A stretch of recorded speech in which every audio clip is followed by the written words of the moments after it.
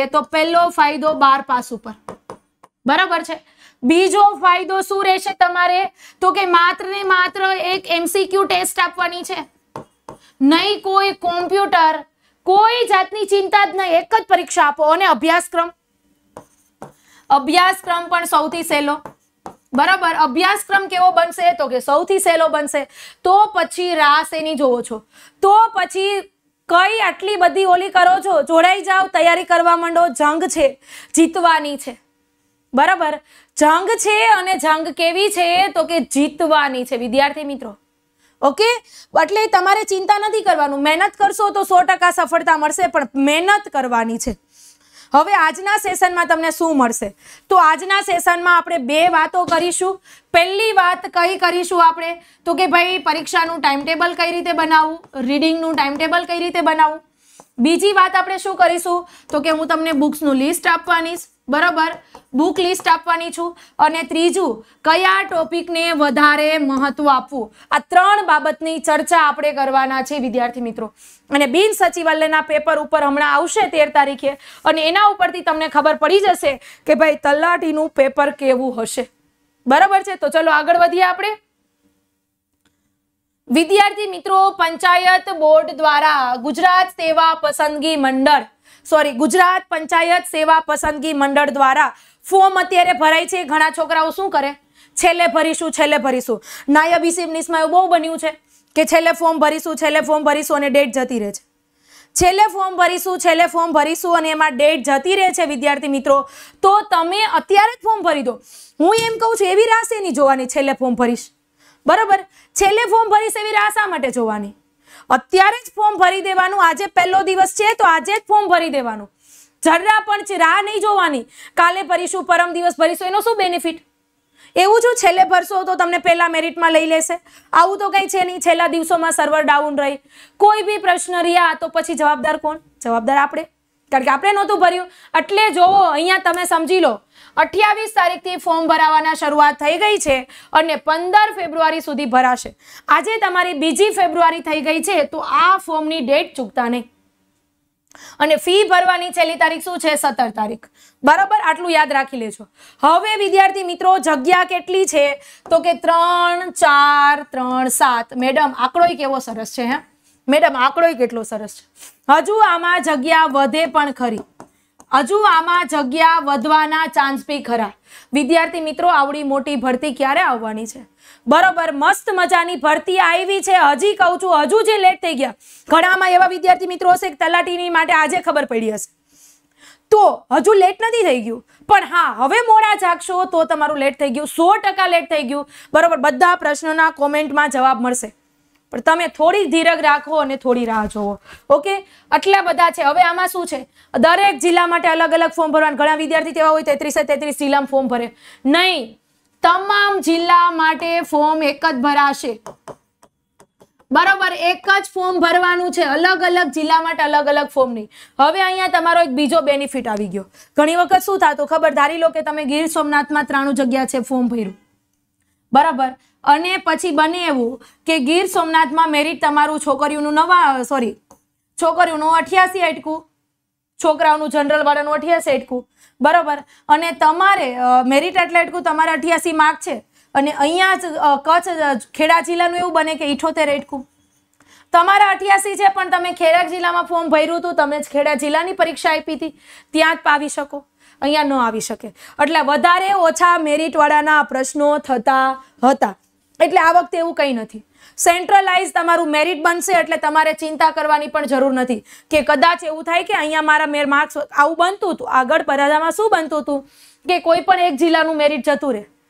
એ જિલ્લામાં ઓછા, આપણા કરતાં ઓછા માર્કવાળા વારો આવી જાય, કારણ કે એ જિલ્લાનું મેરિટ નીચું રહ્યું હોય, આપણું મેરિટ વધારે રહ્યું હોય. પણ આ વખતે ચિંતા કરવાની જરૂર નથી. બધાની સેન્ટ્રલાઇઝ ભરતી છે.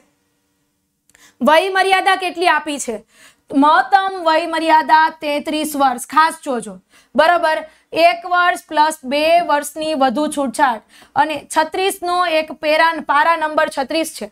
બરાબર? છત્રીસ અને આ પારા નંબર છત્રીસ નો શું કહેવાય?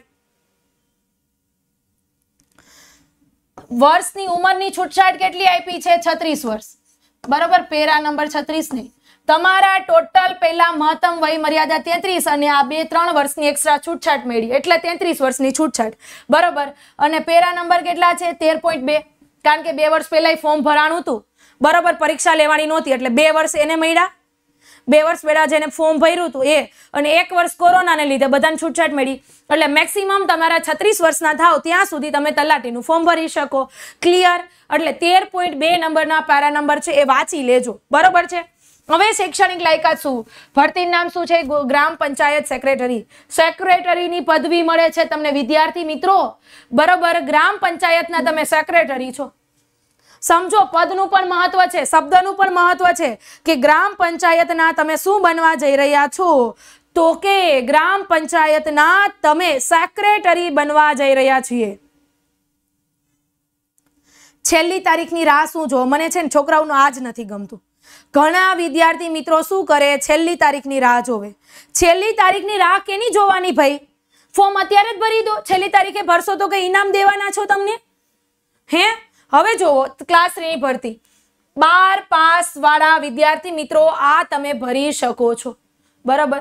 છેલ્લી પહેલી ભરતી છે વિદ્યાર્થી મિત્રો, બિન સચિવાલય અને તલાટીની બાર પાસની.